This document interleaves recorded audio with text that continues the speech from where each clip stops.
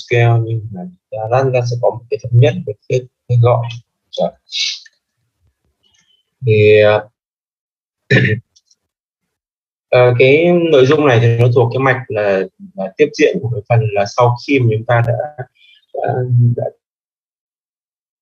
để quản trị cơ sở dữ liệu quan hệ cái RDBMS và ta thấy là nó có nó ổn cả chẳng vấn đề gì phát sinh dạ nhưng mà uh, ngay cả kể các bạn đang đi làm bây giờ thì có thể nhiều bạn đang làm trong cái nhánh lĩnh vực là về uh, dữ liệu thì các bạn thấy là cái về chia dữ liệu bình thường nó ổn không vấn đề gì.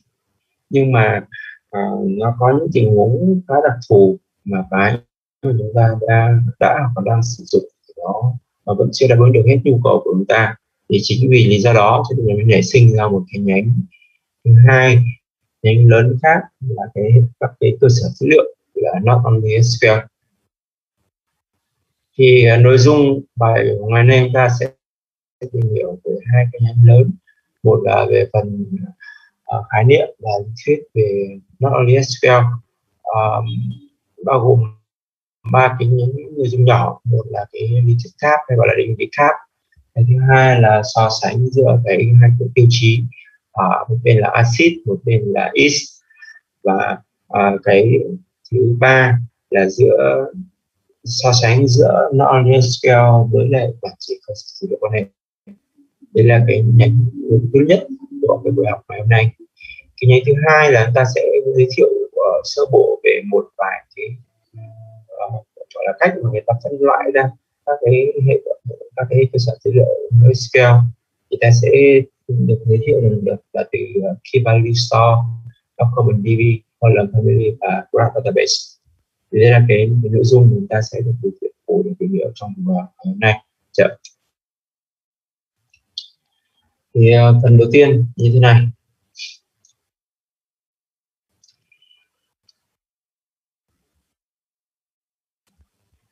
À, đây là một cái hình mà nó mô tả cái cái cái cách mà ta phân loại các cái nhóm các cái nhóm mà, mà cơ sở dữ liệu. Hình này thì tôi góp nhặt được từ trên nguồn internet nhưng mà các bạn cũng có thể là nên chụp vào và đưa vào trong cái hình đó của mình à, đưa vào trong cái tài liệu của mình đang sử dụng để chúng ta tiện trong quá trình chúng ta theo dõi các cái nội dung tiếp theo của phần. Thì đây nó xuất hiện rất nhiều cái tên rất nhiều hệ quản trị cơ sở dữ liệu. Thì các bạn cứ à, cứ cứ, cứ chụp những cái hình lên lên chụp cái hình này. Và ta đưa vào trong cái document comment của mình. Sẽ này ta tiện trong công việc. Là ta theo dõi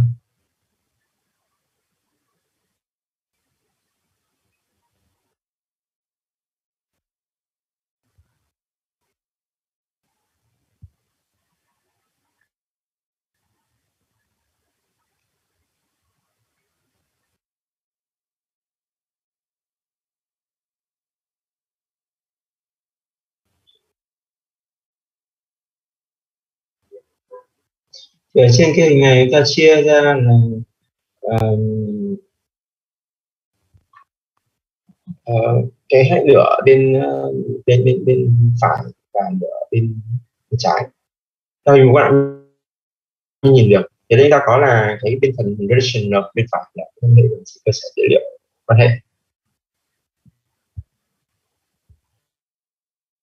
còn ở bên trái là cái nhánh là hệ non relation là phi quan hệ quan hệ sau đó thì cái mà chúng ta thường hay gặp thường hay gặp thường hay sử dụng thuộc cái nhánh là operational là các hệ quản trị cơ sở dữ liệu hỗ trợ chúng ta quản lý cái thao tác xung quanh cái đối tượng của ta. Yeah. đây là một vài cái tên uh, có thể coi là quen thuộc ví dụ như là MySQL uh, Oracle. Tạm gọi là một vài cái chúng ta quen thuộc. SQL Server này. Và cả còn IBM DB2 thì đương nhiên rồi.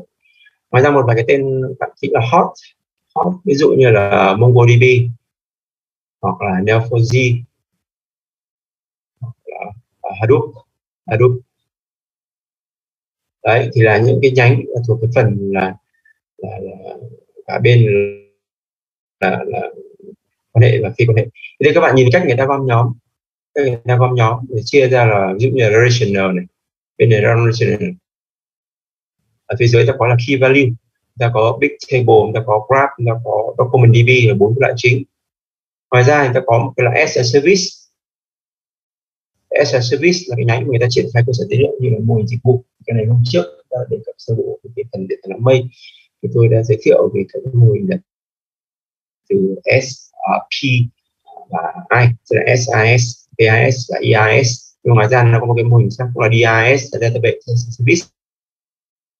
Thì là các nhánh cơ sở dữ liệu ở đây và cũng thuộc hệ thống là service này. Đây đây là cái bức tranh to, bức tranh to. Bây giờ ta sẽ đi vào cái phần chính, phần chính của chúng ta liên quan đến cái buổi học ngày hôm nay là cái phần liên quan đến cơ sở dữ liệu SQL. Như vậy cái ta tìm hiểu đây là một phạm vi rất là nhỏ. Cái anh màu hình màu nâu đây này tôi đánh dấu lại các bạn hình dung được cái mà ta đề cập đến ấy đây là cái anh mà lâu này thôi. Đấy. được chưa? Còn cái relational thì ta còn tuyệt thêm để ý kỹ thế đây đầu tiên ta tìm hiểu về cái, cái khái niệm thì uh, bởi vì là dù gì đi gì bạn học cho đến bạn này các bạn đã đi làm rồi thì ta sẽ gặp sẽ gặp tình huống có một vài cái thể hiện quan điểm hoặc là thể hiện cái hiểu của mình uh, về cái cái NoSQL chậm thì ở đây nó có một cái uh, phần khái niệm này. Ờ, uh, NoSQL là một cái hệ quản trị cơ sở dữ liệu non relational tức là phi quan hệ. Và nó khác biệt với cái hệ quản trị cơ sở truyền thống theo một cái cách đáng kể. Đấy. thì nó có về mặt lịch sử nó thì có một vài người sử dụng. Nhưng mà đây có một cái các bạn nên ghi lại nên ghi lại là về cái khái niệm của nó ở chỗ này. Đây chúng ta có hai khái niệm. Khái niệm khái niệm này các bạn ghi lại vào trong tài liệu của mình. Và sau này ta thống nhất là cái cách hiểu của ta. Non, no được hiểu là non. Non nhưng mà là no. Thế đây là khái niệm thứ nhất. Các bạn nên ghi lại vào trong tài liệu của mình.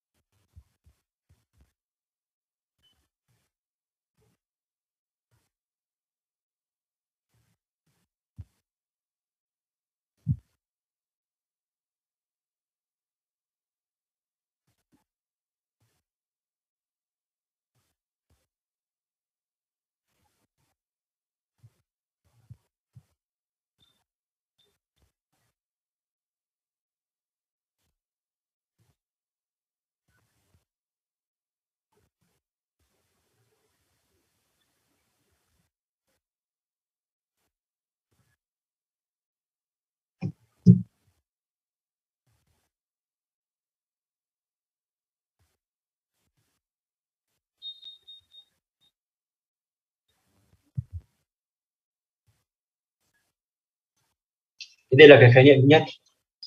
Cái thứ hai cái thứ hai thì cái thuật ngữ mà chúng ta nên uh, nên nên để ý một cách kỹ hơn thế này.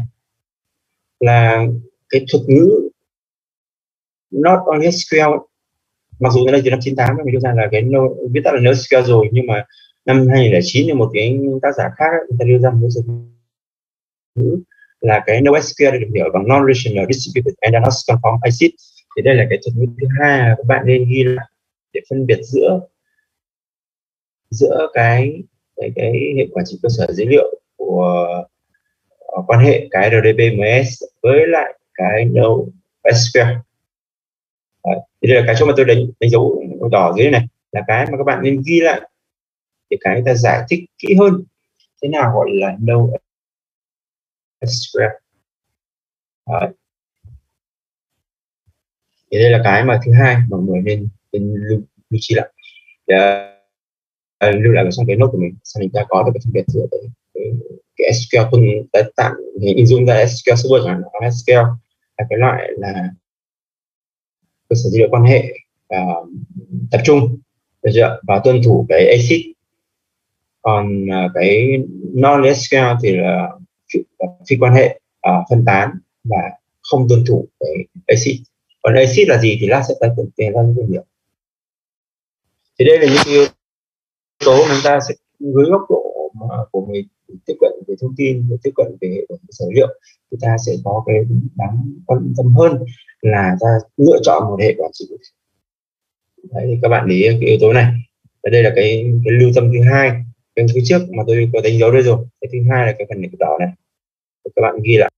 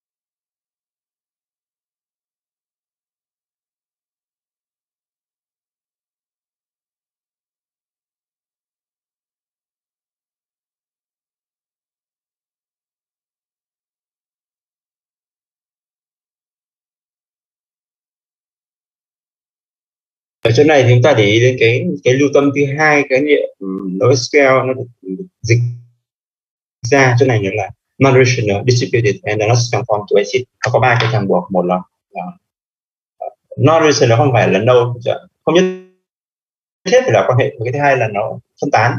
Thứ ba là nó không tuân thủ acid. Còn cụ thể acid là gồm những cái gì thì lát ta sẽ đi chi tiết ở bên trong chỉ bên trong. Để ta khác ta nhận được ta nhận dạng được là cái cái sự khác biệt về bản chất giữa hai kênh này. Ở đây có một cái điểm lưu tâm nữa là cái thuật ngữ nó SQL không uh, uh,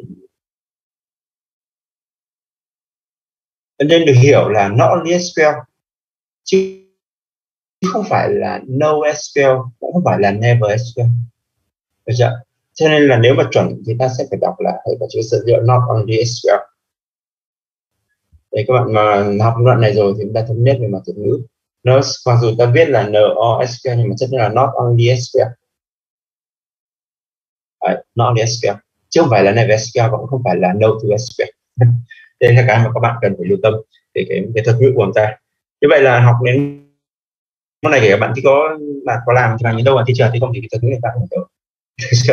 Chứ không người ta cứ tất nhiên là tiếng việt mình nó ẩu ta bảo cứ no no NoSQL mà bản chất là non-SQL để bạn thống nhất nhé. Vậy ta sẽ đi vào các phần liên quan đến về mặt uh, uh, các cái lý giải vì, vì sao mà chúng ta lại cần phải chuyển từ cái hệ quản trị cơ sở dữ liệu bình thường khá là thường dùng là hệ quản trị cơ sở dữ liệu quan hệ sang cái là hệ quản trị cơ sở dữ liệu NoSQL dạ. thì nó có nhiều cái nhiều cái, uh, cái cái lý do thì đây là có bốn cái lý do mà có thể các bạn nên ghi lại. Sau đó ta sẽ đi vào lần lượt từng cái một. Mà sẽ đi vào một cái, đến cái thứ hai thôi. Cho những cái thứ khác thì nó không có ờ, lắm quan ngại lắm. Thì, thì cái động lực phía sau động lực phía sau của cái cái nó SQL là như thế này. À, một là big data. Đây rõ rồi chưa? nhưng mà để phía trước big data chính là cái cái cloud computing. Cloud computing phía trước nào? Có cloud computing thì ta mới có nhu cầu là lưu trữ big data dạ. cái thứ hai là do cái cloud computing cloud computing là khả năng co giãn của nó về mặt phần cứng thì ok rồi bây giờ về mặt phần mềm là các hệ quản trị cơ sở dữ liệu cũng phải có cách thức tổ chức quản lý lưu trữ tương ứng để tận dụng được cái nguồn tài nguyên phần cứng phía trước của nó mà cloud computing đã tạo ra được chưa? cái thứ ba liên quan đến là do cái không gian của dữ liệu, tính đa dạng của nó mềm dẻo hơn và nó thực tế nó linh động linh hoạt hơn. Và cuối cùng là cái khả năng quản lý. Thế ta sẽ đi vào đây có sự bốn cái ý này. Liên quan đến lý giải là cái động lực phía sau của Alaska chứ còn về mặt thực tế thì đây là công nghệ để dẫn dắt. Nói thẳng là công nghệ dẫn dắt. Lớn như kiểu là, Amazon uh, Amazon Google Yahoo um, gần đây là một vài khác với Microsoft đi sau nhưng mà người ta cũng là tiền là rồi về lĩnh vực này. Thì đây là có một vài một cái điểm chúng ta uh, hình dung thêm. Cho nên các bạn đọc qua một lượt tôi giải thích với góc nhìn của cloud computing chúng ta sẽ dễ hình dung hơn là cái động lực ở phía sau của cái anh uh,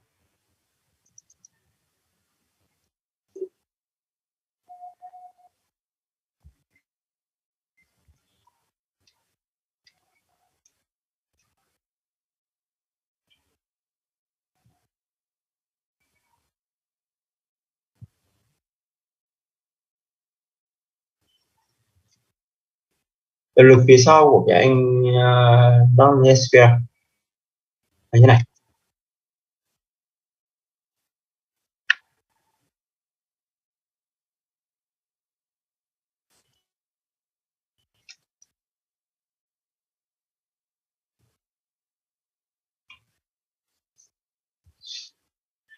Uh, trong cái buổi học uh, về phần cloud computing của tuần thứ hai ấy, thì tôi có đề cập với mọi người là là là cái cloud computing nó, nó ra đời trong cái hoàn cảnh trong cái bối cảnh là tôi có các cái máy tính có thể là các máy chủ nhỏ gọi của tôi.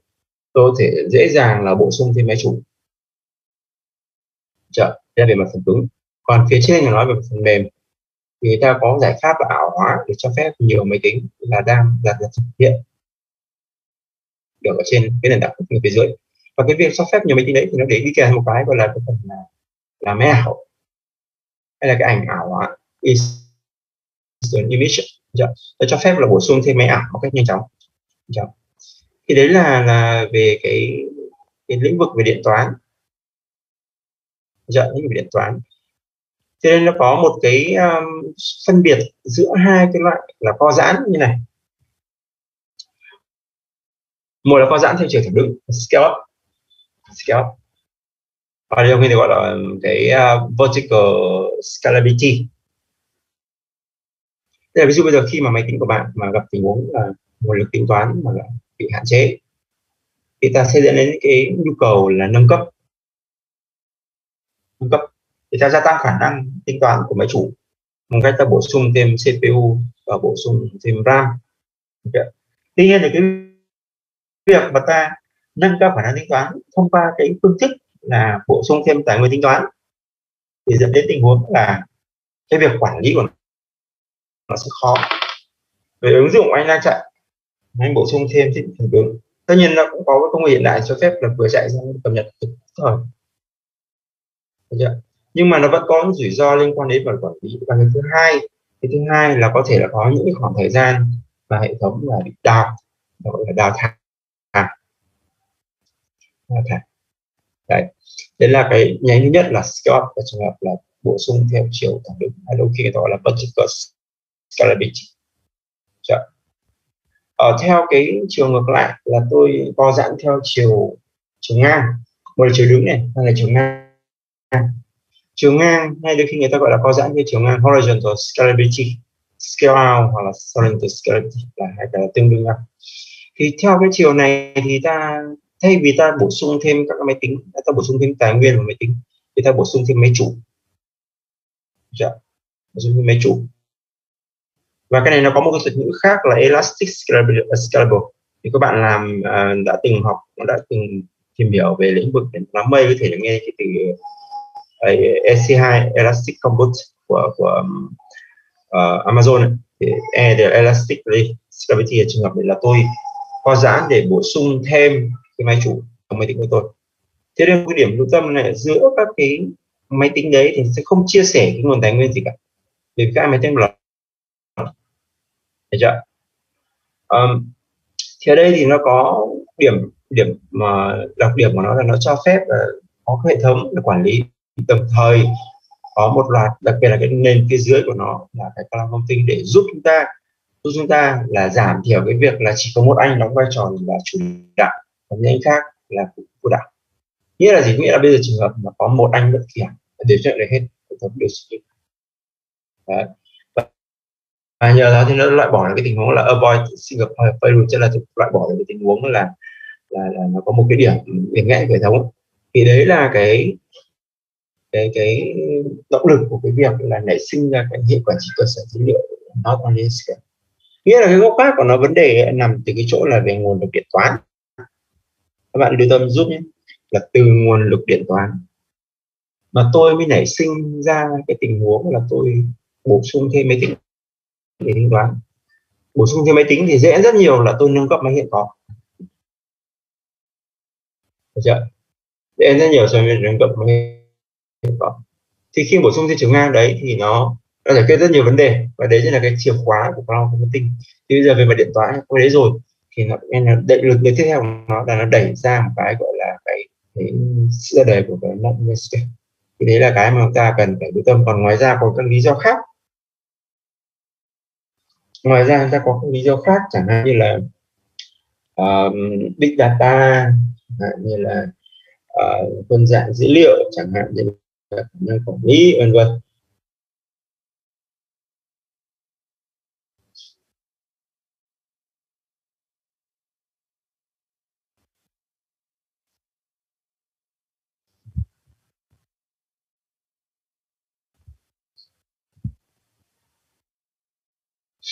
Đấy là cái nội dung ờ, nhỏ thứ hai liên quan đến là cái động lực phía sau của cái knowledge SQL đưa ta vào một cái phần ờ, thứ ba.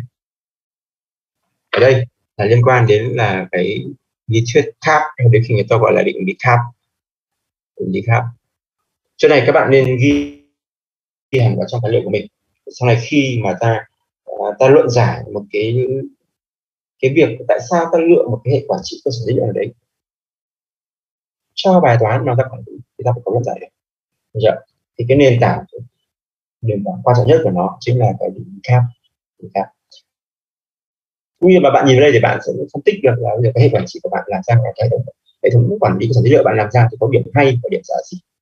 Bây giờ chúng ta đang làm dưới góc độ là cái ta làm ra là điểm rất là tốt nhưng mà khi mà ta đứng lại, ta lùi ra sau chút, ta nhìn, ta sẽ thấy là nó sẽ có những điểm hay và những điểm thì đây là lý khác một cái, cái, cái, nền tảng lý thuyết để giúp ta phân tích các hệ thống hiện tại và xem là điểm hay điểm giảm ở nhà. Thì cái định lý khác này thì nó ờ, nó được uh, uh, biết đến với một cái tên là là là à, cái lý thuyết khác được biết đến tên thì định lý khác do cái ông giáo sư của trường Berkeley ở California. Ở đây thì về mặt uh, danh tiếng thì chúng ta cũng xin phép nói thêm này. Ví dụ như là bạn nghe đến các trường đại học hàng đầu thế giới thì chúng ta có thể nghe đến như là Harvard hoặc MIT được chưa? hoặc là Cambridge. Nhưng mà nếu mà trong lĩnh vực về về máy tính thì có lẽ ta xếp hạng đầu phải là ờ, uh, hàng đầu là Berkeley này uh, Stanford, MIT và, và CMU Carnegie Mellon University là bốn cái trường tính là hàng đầu. Thì cho đó trường Berkeley là một trường hàng đầu chúng tôi hàng đầu về lĩnh vực này. Thì đây là một cái định lý này do trong một cái bài phát biểu của giáo sư Eric Brewer của trường Berkeley ông ấy đưa ra thì lý nó nó nó nó, nó dựa trên một cái uh, tam giác.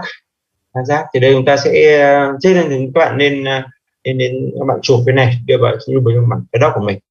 Hoặc là bạn nào mà dùng vở viết thì các bạn viết lại cái hình này. Bây giờ các bạn khoảng độ uh, 3 phút để các bạn lưu lại thông tin này. Sau đó chúng ta sẽ giải thích một cách chi tiết về cái lý thuyết cap này. Xây dựng thuyết cap này chúng ta hình dùng được là cái điểm điểm điểm uh, khóa cộng điểm khi của nó ở trong cái định nghĩa này. Các bạn có bao phút làm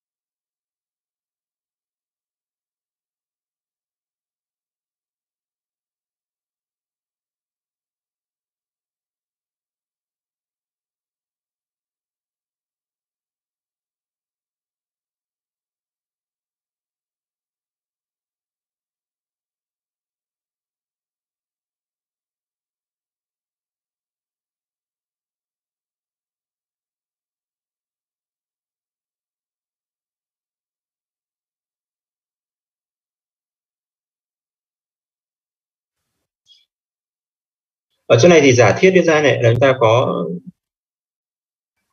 có nhiều máy tính. À, thật ngữ trong lĩnh vực người tính toán người ta gọi cái đấy là, là node hay là tiếng việt là nút đấy. Có rất nhiều nút ở trên hệ thống. Và mỗi một nút thì có các cái bản sao có chứa bản sao của một phần hoặc là các phần của dữ liệu chứ không chứa toàn bộ dữ liệu lý do bởi vì là dữ liệu của ta lớn. Ta không thể là chứa ở một nút được. Nó là một máy tính không chứa thành một dữ liệu được. mà ta phải chia ra nhiều phần và mỗi anh chỉ chứa một hoặc là một số phần. Và một cái phần đấy thì không phải lưu ở một nơi và lưu ở nhiều nơi. Được và trên cái hình tam giác này ta có ba cái đỉnh là C, A và P. C là consistency là cái tính đồng nhất là, là tính thống nhất thường hiểu tính đồng nhất hơn consistency ví dụ anh nói trước sau như một thì đấy là consistency.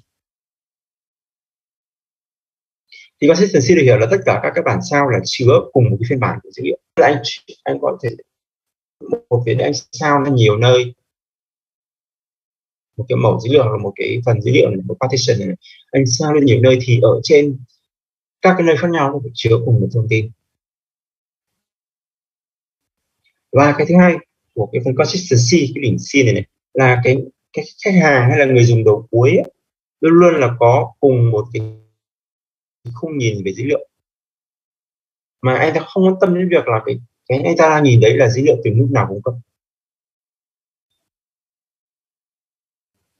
chưa? Đấy là đỉnh đỉnh C.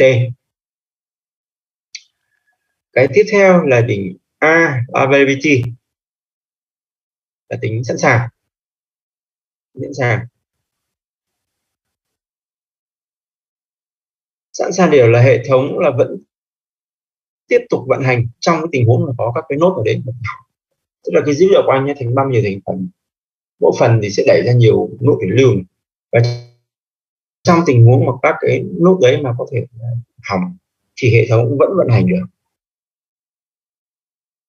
Dễ dàng đây được hiểu là tất cả các cái người dùng đầu cuối đều có thể là đọc và ghi tại mọi thời điểm. Đọc và ghi tại mọi thời điểm. Đấy là cái đỉnh A availability.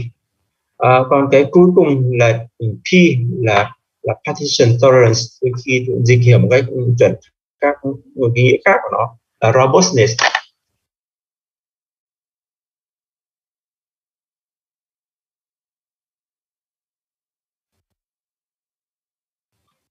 Điều này có nghĩa là gì? Có nghĩa là cái uh, hệ thống vẫn vận hành vẫn đảm bảo được chức năng kể cả trong tình huống là dẫn đến là bị ngắt kết nối giữa hai cái nút.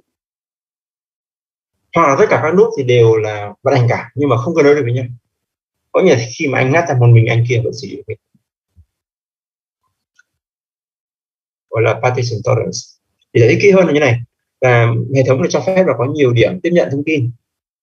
Được chưa và nó vẫn tiếp tục vận hành, kể cả khi mà nó bị phân tách ra, khi mà hệ thống truyền thông giữa các cái nút đấy nó không kết nối được, nó vẫn vận hành. Và thậm chí kể cả là hệ thống vẫn hoạt động tốt trong tình huống là nó bị phân mảnh về mặt là vật lý. Tức là cái hệ thống mạng nối tôi nối các cái nút đấy với ảo là nó vẫn vận hành được. Có nghĩa là trường hợp các bạn làm theo nhóm. Được chưa bạn làm theo nhóm giả sử một đề tài là gồm có ba người làm theo nhóm. Và đến khi đi thi thì ba người không đến cùng một lúc mà chỉ một người đến trước anh ta vẫn thi được. Để anh ta vẫn thi được. Kể cả là anh ta đến thi mà hai ông kia mà không đến được mà mất lạc luôn thì anh đến trước vẫn thi được. Đấy gọi là cái cái hình P partition tolerance hay được khi người ta hiểu một từ ngữ khác là robustness.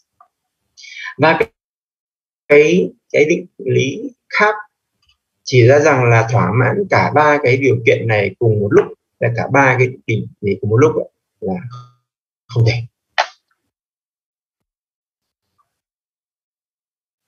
Cả ba này cùng một lúc là không thể. Thì đây là cái mà chúng ta à, sẽ cần phải, lưu tâm thêm. Thì trước khi tiến tiếp phần này thì ta sẽ quay lại một chút về cái điểm là lý giải tại sao ta phải quan tâm đến lý khác này. Lý tại sao ta chuyển sang NoSQL thì tôi sẽ cho mọi người ờ, xem thêm một chút cái này nữa.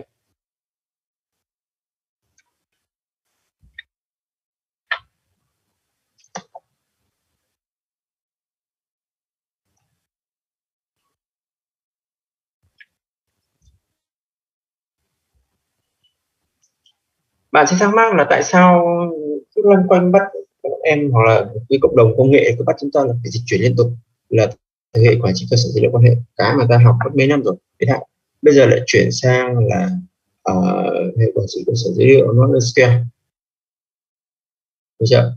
Thế đây là một vài cái phần trả lời thêm trước khi chúng ta tiếp tục với phần lý các như thế này.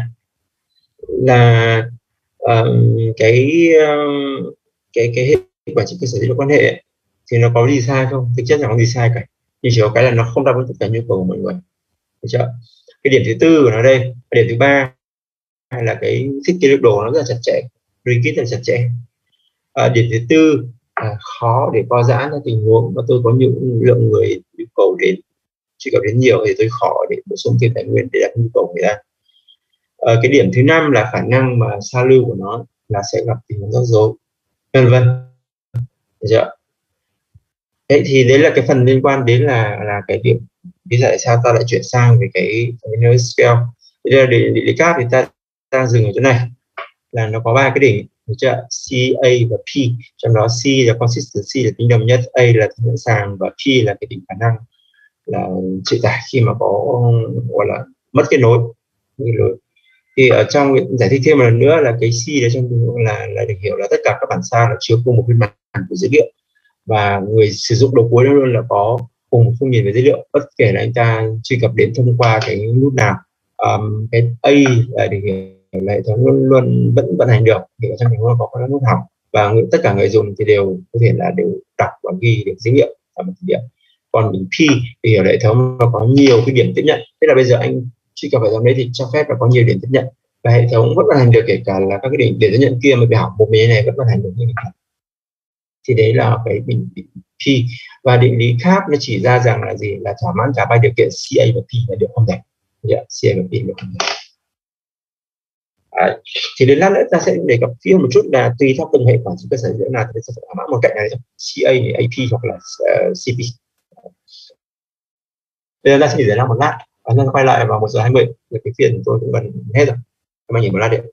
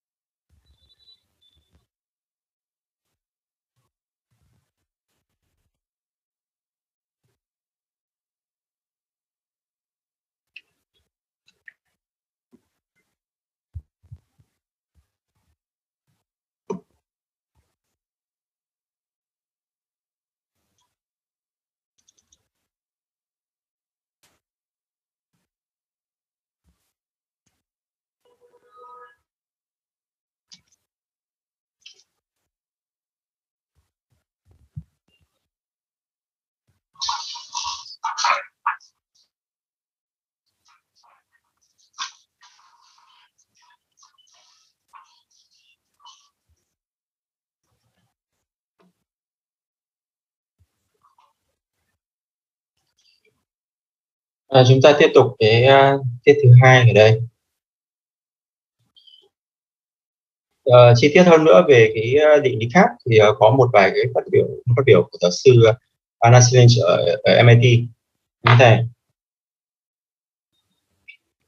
là trong ba cái thuộc tính của một cái hệ thống liên quan đến sử dụng uh, hệ thống uh, chia sẻ dữ liệu ấy, thì chỉ có hai có thể đạt được là bất kỳ thời điểm thì là ba đặc tính đấy thì ta chỉ đạt được hai ở một thời điểm. Uh, thì ở đây nó có cái cách diễn giải khác cái cái dưới cùng như thế này. Là chúng ta bắt buộc phải bỏ từ bỏ một cái tính chất nào đấy trong hệ thống thực tế. Thế là anh đạt được hai cái hai cái là C bay thành bỏ pi Ờ, A và P thành bỏ C. Để chọn C và P thành bỏ A. Thì đây là cái cái cái uh, cái cái tình huống mà nó xảy đến với cái định lý khác. Chưa? còn uh, về mặt lý thuyết thì các bạn nhớ giúp như này là thỏa mãn cả ba cái điều kiện này tại cùng một thời điểm là điều không thể. Điều không thể. Đấy. Ở đây nó có một cái ờ, điểm lưu tâm như này. Là vậy thì cái hệ quản trị cơ sở dữ liệu quan hệ cái ờ, uh, SQL mà ta thường dùng hay là cái RDBMS mà ta thường dùng thì nó nằm ở chỗ nào trong cái hình tam giác này? Thì đây là cái diễn giải các bạn nhớ giúp. Này tôi bỏ qua hàng chữ mình đây. Là hệ quản trị cơ sở dữ liệu quan hệ truyền thống. Là sẽ đạt được hai cái điều kiện. C và A không đạt được cái P không đạt được cái P tức là nó không cho phép hoạt động trong tình huống mà là có nhiều nút và trong đó có một vài học để thống không phụ thuộc gì cả. À không là gì cả. Nó không thể làm được việc đó. Dạ. và cái lý giải tại sao mà các bạn đang phát triển hệ thống mà bạn đang làm thì thường nó quy mô nhỏ. Ít khi ta gặp cái tình huống mà mà ta có nhiều nút và một vài nút trong học hệ thống của ta chưa không cũng khi ta gặp tình huống kiểu như thế cả. Đấy, thì đây là cái mà ta cần lưu tâm thêm, là cái hệ quản trị cơ sở dữ liệu quan hệ truyền thống, cái mà ta vẫn hay sử dụng thì nó nằm ở chỗ nào? Nằm ở chỗ này trong hệ thống này. Đấy. và ở đây thì có một cái hình này, các bạn nên ghi lại hoặc là đưa vào trong file Word của mình đều trong file Word của mình để chúng ta tiện trong cái việc theo dõi. Đấy, thấy sao? Hình này có chứa rất nhiều thông tin thì các bạn nên uh, chụp lại và đưa vào trong file Word của mình hoặc là các bạn ghi lại trong vở của mình. Để sau đó tôi giải thích chi tiết từng ý một. Rất nhiều thông tin rồi à, các bạn uh, tôi dành các bạn khoảng 5 phút để làm việc.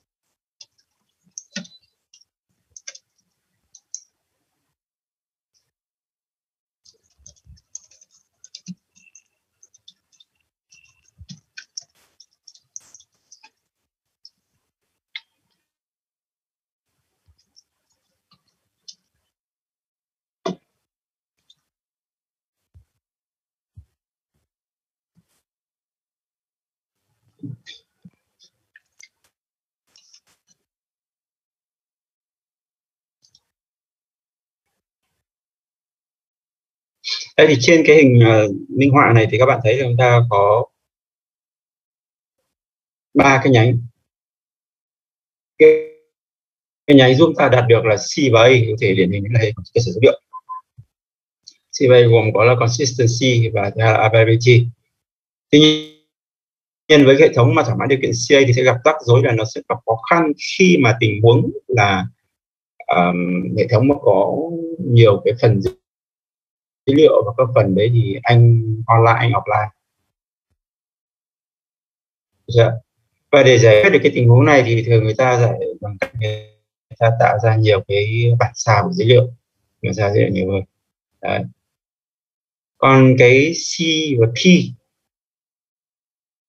C và P thì là các hệ thống mà gặp rắc rối khi mà cái tính sẵn sàng của à, tính tính uh, uh, để đảm bảo dữ liệu đồng nhất ở trên các cái nút thì gặp tình huống rắc rối khác là cái tính sẵn sàng của dữ liệu thì không đảm bảo. Còn cái A và P A và P thì nó lại gặp tình huống là cái dữ liệu không đồng nhất ngay lập tức. Tức là các cái nút có thể là sẽ có trạng thái khác nhau của dữ và chỉ một lúc sau gọi là eventually consistency. Một lúc sau thì hệ thống mới đồng nhất được thực sự. Đấy.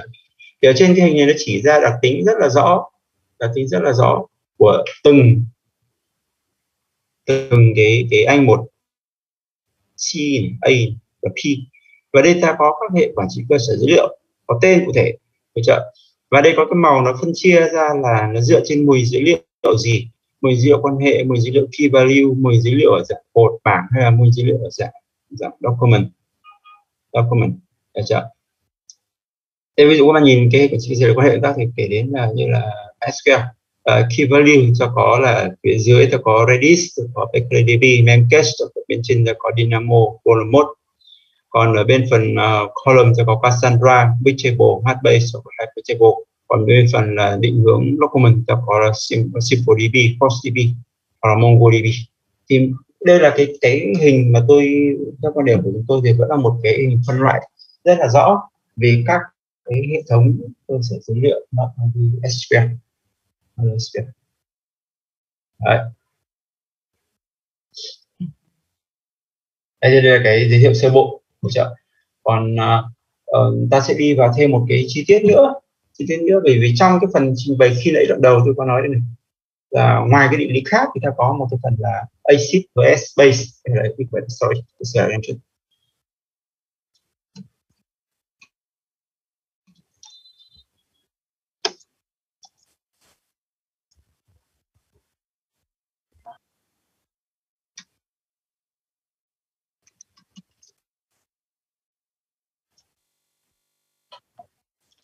đây một cái thêm một cái nữa là cái phần là à, cái nội dung.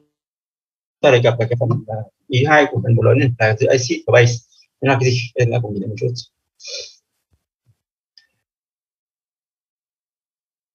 Um, khi mà các làm phát chuyển từ cái hệ quản lý dữ liệu ở dạng tệp sang sử dụng hệ quản lý dữ liệu thì cái ta rất mong muốn là, là sự đồng nhất hay thống nhất của dữ liệu. Tránh tình huống là một anh như ở nhiều nơi giống như khi bạn làm thiết kế cơ sở dữ liệu trên hệ thống quan hệ người ta chấm điểm bằng là đánh giá xem là toàn thiết kế của anh có dư thừa dữ liệu hay không có bất thường hay không được chưa? Thì cái điều đó được đảm bảo thông qua cái gọi là ACID đây là ngó lần lượt từng cái một. Thì với quản cơ sở liệu thì có bốn cái cái, cái, cái tính chất bốn thuộc tính mà ta cần phải đảm bảo. Đó là gì? Um, cái thuộc tính nhất đó là cái atomic là khi mà chúng ta xảy ra khi mà có động tác cập nhật ấy, thì nó chỉ cập nhật hết hoặc là không gì cả. Atomicity tức là nguyên tử đấy tức là khi mà ta thực hiện cập nhật thì là cái yêu cầu cập nhật được cập nhật hết thực hiện hết hoặc là không làm gì cả. Yes or no? Dạ. Cái thứ hai là tính consistency là trạng thái của các bản dữ liệu khác nhau là phải đồng nhất. Ví dụ như là liên quan đến các cái quan hệ liên các cái ràng của toàn vẹn này là phải đồng nhất tại mọi thời điểm.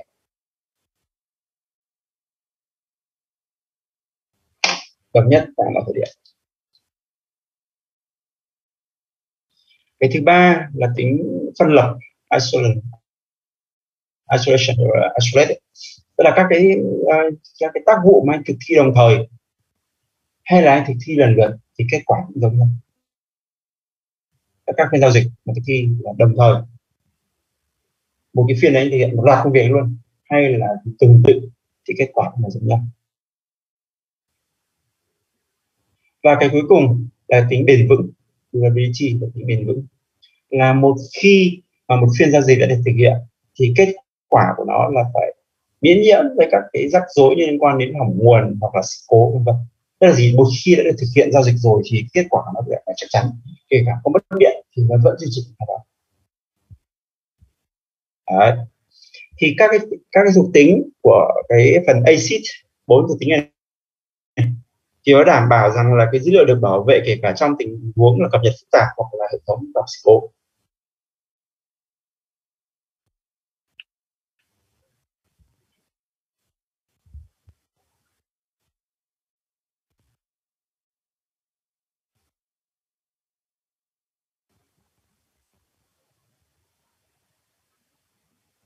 và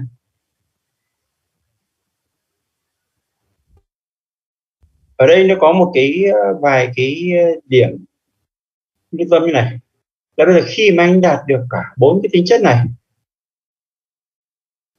Cả bốn tính chất này, thì hệ thống anh hoạt động rất ổn. Tuy nhiên nhưng mà nhu cầu thực tế, chúng ta mong muốn là có hai cái điểm.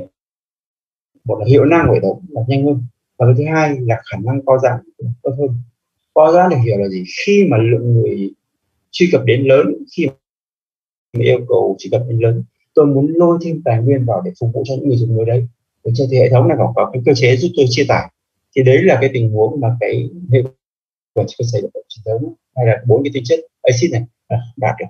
Cho nên khi mà xảy ra cái tình huống đấy thì người ta sẽ sẽ, sẽ buộc phải bỏ bớt đi. Bỏ bớt các cái thuộc tính đi để chuyển sang một cái một cái tập ràng buộc mới được một cái gọi là một cái bối cảnh mới mà trong các thuộc tính thỏa mãn bao gồm là như thế này.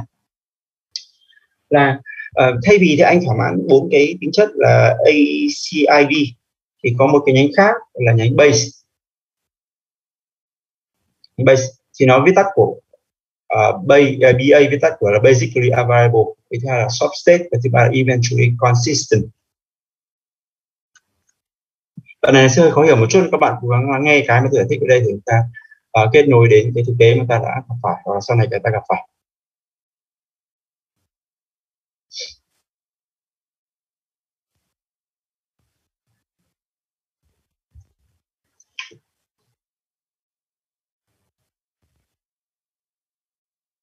Uh, cái uh, basically available cảm gì cái tiếng việt để hiểu là cái cơ bản là sẵn sàng uh, S và soft state là trạng thái nên là mềm. Và cái thứ ba là eventually consistent là cuối cùng thì cũng sẽ đồng nhất. Cuối cùng thì cũng sẽ đồng nhất. Chưa? ở đây thì nó có một vài cái đặc điểm của cái hệ thống mà theo cái tiêu chí này này. Đó là cái trạng cái đồng nhất của nó là đồng nhất ở dạng trạng thái yếu. Tức là dữ liệu luôn luôn thay đổi. Được chưa? Có thể là tại điểm anh đọc thì anh khác cập nhật rồi, nhưng mà một lúc sau thì anh sẽ cập nhật. Nhưng mà không nhất thiết phải là đồng thời không nhất thiết phải đồng thời cái thứ hai là nó đảm bảo là cái tính sẵn sàng đặt lên hàng đầu. Lên hàng đầu. Cái thứ tư thứ ba tôi bỏ qua không quan trọng lắm. Cái thứ tư là cái approximate answer, ok? Tức là cái câu trả lời của chúng ta mang tính chất sắp xỉ thôi chấp nhận được. Chứ không nhất thiết phải là câu trả lời chính xác tức là thì giống như các bạn kết nối đến là cái hệ uh, tìm kiếm ở trên Excel hoặc bạn tìm kiếm ở trên Excel các bạn cho phép tìm kiếm chính xác. Được chưa còn bạn tìm kiếm Google thì vì sao là không có? Là tìm kiếm sắp xỉ đấy. Nếu Google mà nhớ chính xác cái bài bạn như thế bạn search vào thì nó trả về một loạt câu hỏi à một loạt ý cái, câu trả lời. Và nó sắp xếp các câu cái, cái câu trả lời theo thứ tự đấy nó sâu ra chứ không khẳng định cái nào là cái chính xác là cái bạn tìm kiếm được, bạn mong muốn tìm kiếm đấy.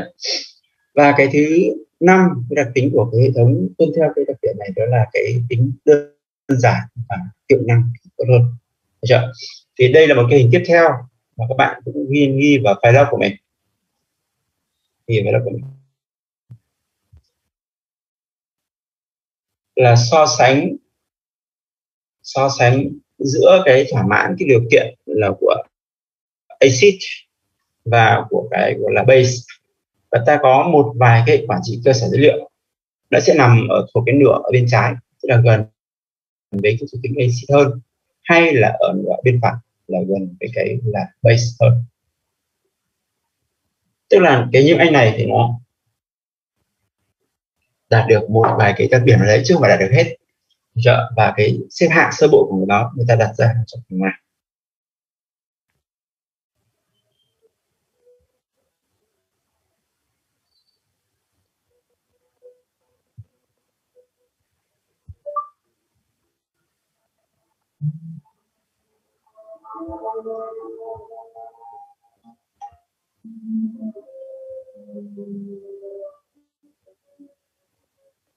cái hình này thì các bạn à, nên chụp và đưa vào cái file doc của mình ở trên máy tính ạ, bạn sẽ bản cá nhân. Chúng ta, để ở đây thì cũng thông tin thêm có thể các bạn, hôm nay các bạn không đọc báo, các bạn đọc chưa để ý. Và hôm qua tôi có ngó, đêm qua sáng nay tôi có ngó cái hướng dẫn của Hà Nội thì luôn à, là người ta người ta trả lời cái ý là tại, đến bao giờ thì học sinh Hà Nội đi học trở lại. Người ta Hà Nội đi học trở lại các bạn đi học trở lại được. Người ta đặt ra cái à, điều kiện sơ bộ là uh, phủ đủ uh, tiêm đủ hai mũi cho tất cả cư dân của Hà Nội. Dự kiến là đến uh, tháng 11 là hết. Và lúc đó thì sẽ xem xét mở cửa trường học. Thì hy vọng là đến lúc mà chúng ta, đã tổ chức uh, thi kết thúc học phần thì lúc đó chúng ta đã gặp nhau offline rồi. Cái thông tin ngoài lề để chúng ta uh, tạo gọi là có một cái đích đến để ta phấn đấu. Bây giờ quay lại ở đây thì à, cái hình này các bạn nên ghi lại và trong cái, ờ, cái, cái tài liệu của mình. Để mình để chúng ta có một cái ờ, uh, user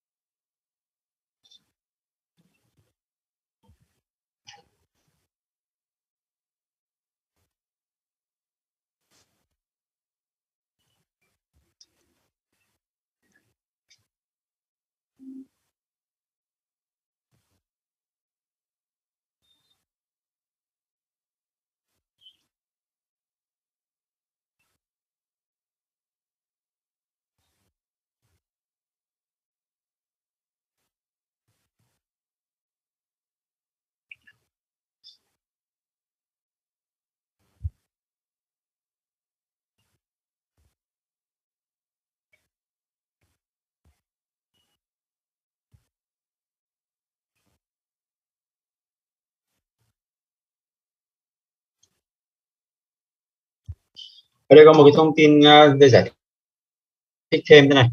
Uh, với cái nhánh ở bên trái ấy, thì uh, nó đặt trong cái bối cảnh chúng ta xét là có cái lược đồ quan hệ dữ liệu được chuẩn hóa để có cơ giải quan hệ và trong cái giai đoạn mà trước khi có cái sự bùng nổ của mạng xã hội. Tức là cái anh exit ấy, trước giai đoạn bùng nổ xã hội còn cái anh ở phía sau là thường là ta sẽ liên quan đến dữ liệu phi cấu trúc, dữ liệu lớn, dữ liệu phi quan hệ, dữ liệu không được đồ phân tán, và dữ liệu là có cái kết nối ở dạng mở. Open link data đấy là ở biển thì đây là cái tin thêm. Là thông tin thêm để chúng ta hình dung được là cái sự khác biệt giữa hai người.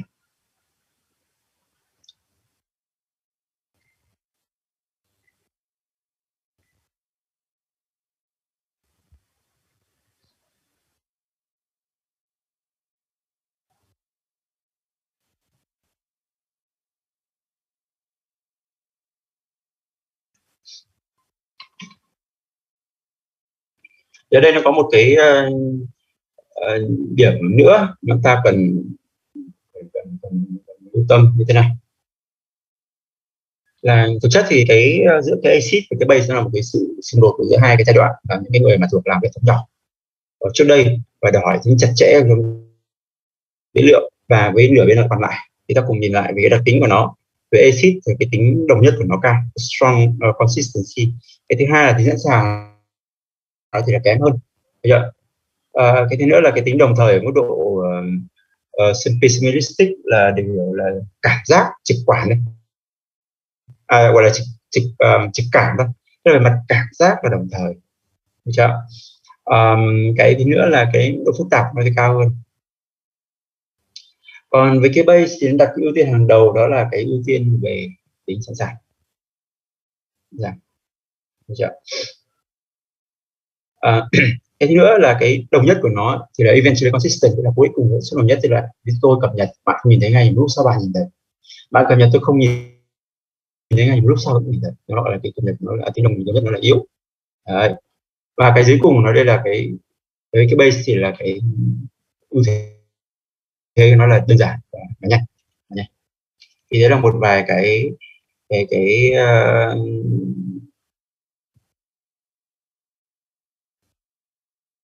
uh, thông tin về phần lý thuyết của chúng ta là cái sự uh, khác biệt về mặt căn bản giữa hệ quản trị cơ sở dữ liệu quan hệ hệ quản trị dữ liệu quan hệ với lại hệ quản trị cơ sở dữ liệu NoSQL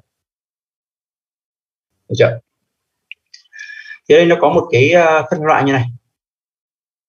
Phân loại là theo các cái mô hình hình dữ liệu vì đã phân loại là theo một dữ liệu được chưa? Thì mô hình dữ liệu là dạng key value đến mô hình dữ liệu là dạng row table mô hình dữ liệu dạng column và dạng document dạng graph. Thường cái row với column người ta hay chập là một. Nó có key value này, row này, document và graph. Được chưa? và trong khuôn khổ của cái học phần này chúng ta sẽ lượt qua lượt lượt từng cái nhánh một. Lượt từng nhánh một. Để để các bạn làm gì? Để các bạn là có cơ hội là khai thác và sử dụng. Nó là để tương tác về mặt dữ liệu với các hệ cơ sở dữ liệu này. Đấy. thế đây nó có một cách người ta phân loại các cái phương thức và các cái um, hệ thống lưu trữ nó lên scale. Đây là một vài cái tên tuổi một vài cái tên tuổi mà ta chia ra thì đầu tiên là có phần nhánh về key value thì ta có mem cache redis ở bên tabular ta có big table headspace. Ở bên phần graph ta có neo4j Ờ, thì đây là một vài cái thông tin hết sức sơ bộ thôi. Còn uh, uh, bây giờ thì thế này. Thì vì là sau cái uh, lịch trình của chúng tôi thì hôm nay thì tôi uh, có một cái buổi họp của sở tại bộ học nghệ. Nó họp online thôi. Bắt đầu vào lúc 2 giờ. Cái lịch này thì mãi chiều hôm qua người ta báo thì tôi không cách nào để xếp được cái buổi học của chúng ta. Cho nên là tôi uh, xin phép là ta vẫn học hai tiết đầu bây giờ xong rồi. Còn đến uh, đến đến đến um, thời gian còn lại của hai tiết ngày hôm nay thì chúng ta sẽ nghỉ. Tuy nhiên thì tôi có một cái bài uh, tập ra thế này để các bạn về tìm hiểu trước luôn. Thuộc cái nhánh về key value thì nào nào thì cũng bên lề các nội dung mặt công nghệ thì tôi nghĩ các bạn sẽ không gặp khó khăn. Các bạn sẽ không gặp khó khăn trong cái việc là tìm hiểu và khai thác nó. Thì đây là cái bài mà các bạn cần phải thực hiện theo. Các bạn sẽ sẽ sẽ, sẽ uh, chụp yêu cầu này lại. Chụp yêu cầu này lại để, để uh, thực hiện theo để tôi xem anh như bây giờ đây.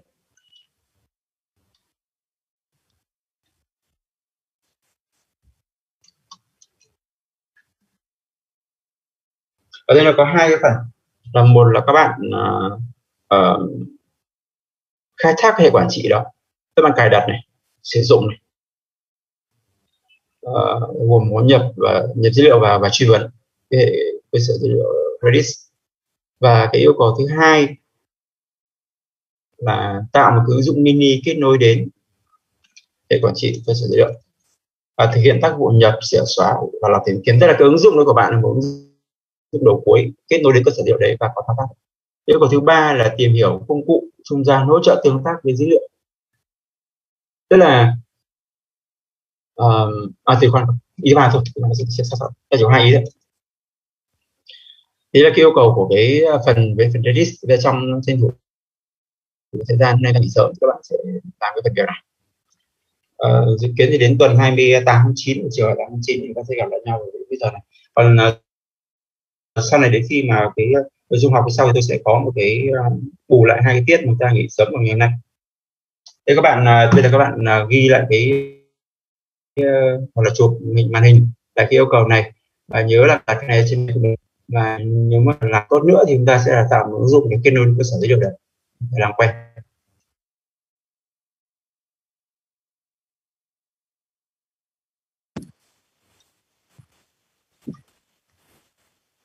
Các em xem có câu hỏi gì không ạ?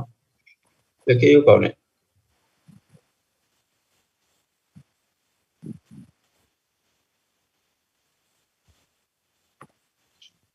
Phải câu ạ. Được. Dạ. Ờ, tôi điểm danh nhanh một chút thôi nha. Một câu ở đây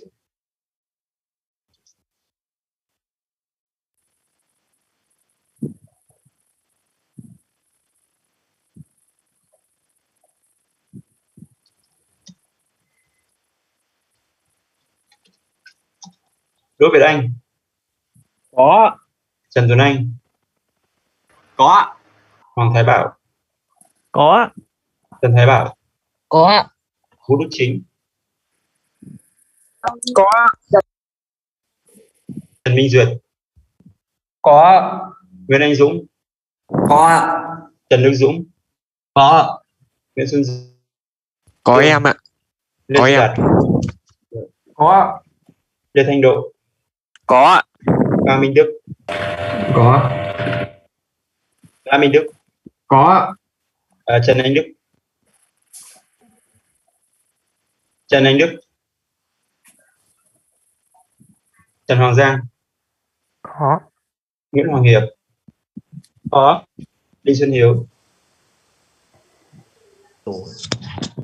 À xin lỗi à, Đoàn Xuân Hiếu. Có Lê Minh Hiếu có. Nguyễn Minh Hiếu. Có. Nguyễn Quốc Hiếu. Có. Phạm Trung Hiếu. Thạch Thọ Hiếu. Có. Ờ, Vũ Minh Hiếu. Vũ Minh Hiếu. Lương Đình Hoàng. Là có. Cao Văn Huy. Cao văn huy có. Lê Quang Huy. Có Đồng Văn Hùng. Có. Nguyễn Đức Hưng. Có ạ. Đinh Xuân Khiêm Đinh Xuân Khiêm Phạm Mỹ Linh. Có. Trần Văn Linh. Có. Nguyễn Việt Long. Nguyễn Việt Long. Có. Có. Nguyễn Văn Lộc.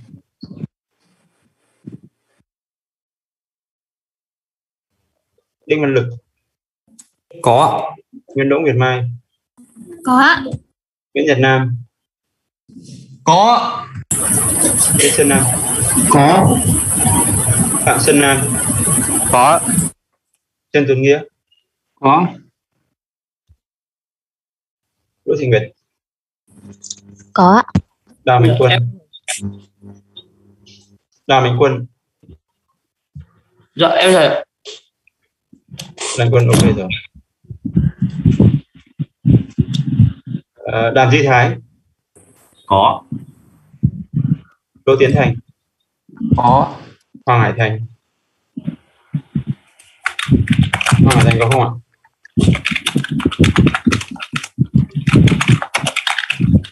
Lê Quốc Thắng. Có. Nguyễn Đình Thịnh. Có. Trần Thị Thu. Có. Nguyễn Hữu Tiến có Nguyễn Nam Trường.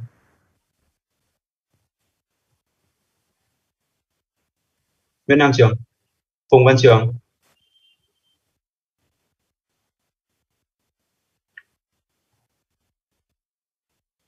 Phùng Văn Trưởng rồi này. Um, Dương Anh Tuấn. Có. Vũ Đình Tuyên. Em có. Nguyễn Vũ Minh Tùng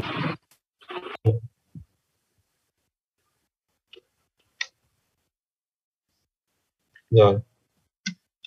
Ờ, Nguyễn Văn Vũ. Có Nguyễn Văn Trường. Nguyễn Văn Trường. Trà Hữu Sơn. Có có. Nguyễn Phúc Toàn. Toàn có ok rồi. Rồi, cảm ơn các em. Thế thì hôm nay Dạ, do- em thầy ạ. Ừ, em nói đi. Tên là gì? Em thầy em đi xung khiêm ạ. Thầy lúc em gọi em bị mít. Đây cho em điểm danh lại Vũ Minh Hiếu đó. Không- Đinh Sinh Kiên rồi này Vũ Minh Hiếu. Em ở xung khiêm ạ. Vũ Minh.